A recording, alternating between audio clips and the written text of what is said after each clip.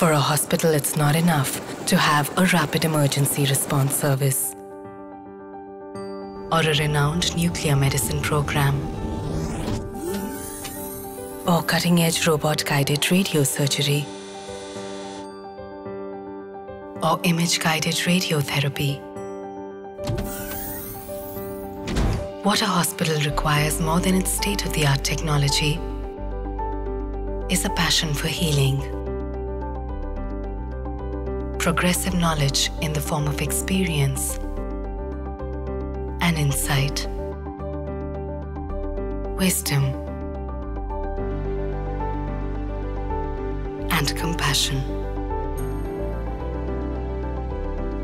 That is why the medicine that really matters is what you will find here at BLK.